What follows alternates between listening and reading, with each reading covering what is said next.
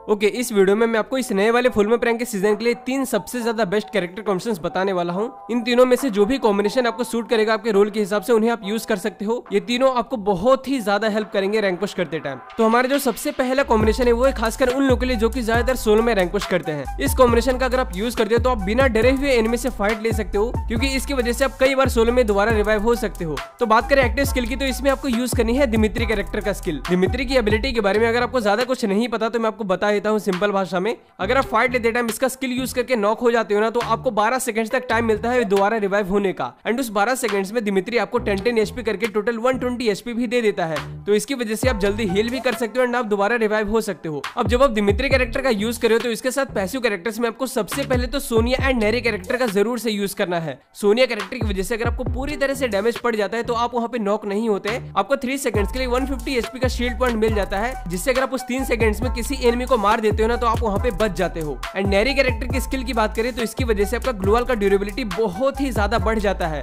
जिसकी वजह से आपका ग्लोअल एकदम पत्थर की जैसा हो जाता है। अगर आपके ग्लोअल के ऊपर कोई इनमें लगातार फायर भी करता रहेगा, फिर भी आपका ग्लोअल नहीं टूटेगा। तो जो आप सोनिया एंड दिमित्री के साथ नेरी कैरेक्टर का यूज़ करोगे ना तो जो आप नॉक होने के बाद खुद को ग्लोअल से पैक कर लेते हो तो आप वहाँ पे आराम से सेल्फ रिवाइव हो जाओगे। आपको वहाँ पे कोई भी एनिमी फिनिश नहीं कर पाएगा। एंड नेरी की स्किल में आपको एक और बहुत ही कमाल की एबिलिटी मिलती है। अगर आप डैमेज होने के बाद खुद के ग्लोअल के ऊपर फायर करोगे ना तो आपको वहाँ पे सिक्सटी एचपी रिकवर हो जाएगा टोटली तो समझ सकते हो ना ये कितना ज़्यादा आपको हेल्प करेगा। अब इसके बाद आपको थर्ड पैसिव कैरेक्टर में यूज़ करना है लुकेटा कैरेक्टर का स्किल लुकेटा देखो यार फुल मैप के लिए एक मस्ट यूज़ कैरेक्टर है, क्योंकि इसकी वजह से जब दो एनिमीज को फिनिश कर देते हो ना तो आपको 50 का एक्स्ट्रा एचपी स्लॉट मिल जाता है। यानी कि आपके पास टोटली 250 का एचपी होता है। एंड साथ ही अगर आप एचपी बूस्टर या फिर वेस्ट थिकनर लगा लेते हो तो आपको अगेन वहाँ पे 30 एक्स्ट्रा एचपी मिल जाता है, जिससे कि आपके पास टोटली 280 एचपी हो जाएगा। तो जो आप सोलो में Dimitri Sonia Neri and Luqueta character को लेकर खेलोगे ना तो आपको बहुत ही ज़्यादा हेल्प करेगा। आप काफ़ी आसानी से डिफ़िकल्ट से डिफ़िकल्ट सिचुएशन में सर्वाइव कर पाओगे एंड काफ़ी अच्छा खासा प्लस भी निकाल पाओगे। अब हमारे जो सेकंड कॉम्बिनेशन है, ये भी बहुत ही ज़्यादा स्पेशल है।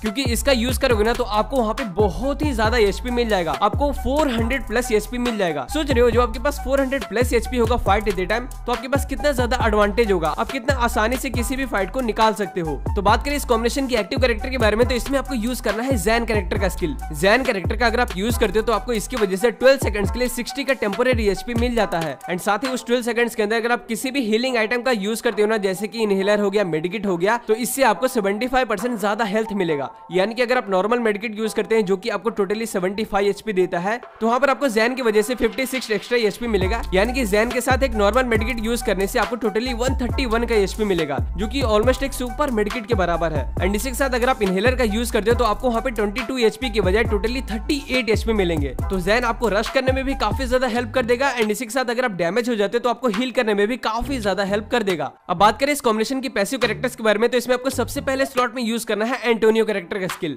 देखो एंटोनियो का यूज़ करने से आपको 40 का एक्स्ट्रा एचपी शील्ड पॉइंट्स मिलते हैं। जब भी आपको डैमेज पड़ेगा ना तो सबसे पहले आपका शील्ड पॉइंट घटता है, फिर आपका रियल एचपी घटता है। तो बेसिकली ये नॉर्मल एचपी की तरह ही काम करता है बट ये कुछ टाइम के बाद खुद ब खुद रिकवर हो जाता है। तो यही फ़ायदा होता है शील्ड पॉइंट का, बिना मेडिकेट के ही आपका शील्ड पॉइंट अपने आप रिकवर हो जाएगा। अब एंटोनियो के बाद आपको सेकंड स्लॉट में यूज़ करना है शैनी कैरेक्टर का स्किल शैनी कैरेक्टर की वजह से जब भी आप अपना एक्टिव स्किल यूज़ करते हो ना तो आपको वहाँ पे 50 का एक्स्ट्रा एचपी शील्ड पॉइंट मिल जाते हैं. यानी कि जब जैन कैरेक्टर का स्किल यूज़ करोगे ना तो आपको पाँच सेकंड के लिए 50 एक्स्ट्रा एचपी और मिल जाएँगे, जिससे फिर से आपको रशिंग करते वक्त एक अलग ही एडवांटेज मिलेगा. अब शैनी की जो एबिलिटी है ना एक बार यूज़ होने के बाद दस सेकंड के लिए कूल डाउन पे चली जाती है. यानी कि अगर आप हर एक दस सेकंड में एक्टिव स्किल का यूज़ करोगे ना तो आपको वहाँ पे इसका फ़ायदा मिलने वाला है, आपको फिफ्टी एचपी मिल जाएगा. तो अगर आप जैन की एबिलिटी जल्दी रिचार्ज करना चाहते हो तो आप पेट में रूकी पेट का यूज़ कर सकते हो. इसकी वजह से आपका एक्टिव स्किल काफ़ी जल्दी रिचार्ज हो जाता है। अब इस कॉम्बिनेशन की जो थर्ड पैसिव कैरेक्टर है, इसमें आपको यूज़ करना है लुकेटा कैरेक्टर का स्किल लुकेटा के बारे में आपको पूरी अच्छी तरह से बता दिया है कि जब आप दो एनिमीज को फिनिश करते हो तो आपको 50 का एक्स्ट्रा एचपी स्लॉट मिल जाता है। अब यहाँ पे मैं आपको पूरी अच्छी तरह से काउंट करके बता देता हूँ कि आपको इस कॉम्बिनेशन का यूज़ करने पे कितना एचपी मिलेगा।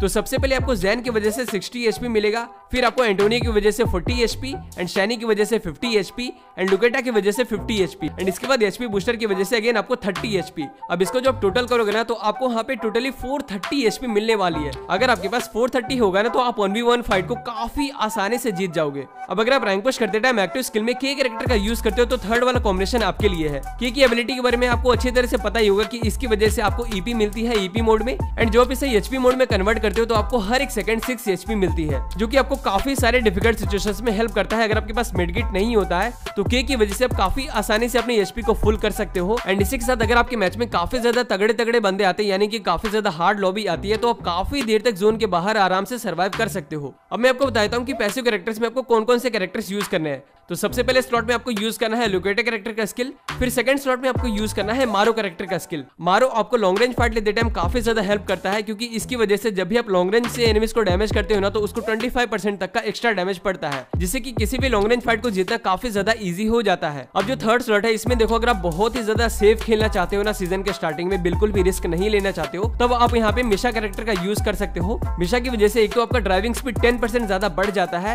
एंड इसी के साथ अगर आप गाड़ी चलाते हो ना तो आपके ऊपर किसी भी एनिमी का डिफ़ॉल्ट एम नहीं आता है। एंड अगर आपके ऊपर कोई भी अच्छी तरह से एम लेके फायर कर भी देते हैं ना तो आपको वहाँ पे ट्वेंटी परसेंट कम डैमेज पड़ेगा। तो मिशा के साथ गाड़ी चलाते टाइम आप एकदम बहुत ही ज़्यादा सेफ़ रहोगे एंड डो या फिर स्कॉड में खेलते टाइम अगर आपके सारे टीममेट्स मर जाते हैं तो वेंडिंग मशीन से सोलो डेयर लेके आप काफ़ी आराम से गाड़ी में रहते हुए अपने टीममेट्स को रिवाइव करा सकते हो। अब अगर आप गाड़ी का यूज़ नहीं करते हो तो आप मिशा की जगह एलाइट एंड्रो का यूज़ कर सकते हो। एलाइट एंड्रो की वजह से आपका वेस्ट का ड्यूरेबिलिटी बहुत ही ज़्यादा बढ़ जाता है। एंड फुल मैप पे देखो वेस्ट काफ़ी ज़्यादा मैटर करता है। अगर आपके पास पहले से ही लेवल थ्री या फिर लेवल फोर का वेस्ट है एंड ऊपर से अगर आपके पास एलाइट एंड्रो है, वहाँ पर ना एक तो आपका वेस्ट नहीं फटेगा एंड इसी के साथ आपको बहुत ही कम डैमेज पड़ेगा। अब अगर आप एलाइट एंड्रो का भी यूज़ नहीं करना चाहते हो तो आप इसकी जगह पे लूना कैरेक्टर का यूज़ कर सकते हो। लूना कैरेक्टर की वजह से आपका गन का रेट ऑफ़ फायर बढ़ जाता है, जिसकी वजह से आप काफ़ी आसानी से शॉर्ट रेंज या फिर लॉन्ग रेंज फाइट को जीत सकते हो। तो यार, ये थे इस सीज़न में रैंकुश करने के लिए तीन सबसे ज़्यादा बढ़िया कॉम्बिनेशन मेरे हिसाब से। आपको इनमें से जो भी कॉम्बिनेशन सबसे ज़्यादा सूट करता है, उसे आप यूज़ कर सकते हो। अब अगर आपको ये वीडियो अच्छी लगी हो तो इसे एक लाख ज़रूर कर देना। अगर आप हमारे चैनल पर नए तो इसे सब्सक्राइब भी कर देना। तो तब तक के लिए बाय मिलते हैं एक और वीडियो में।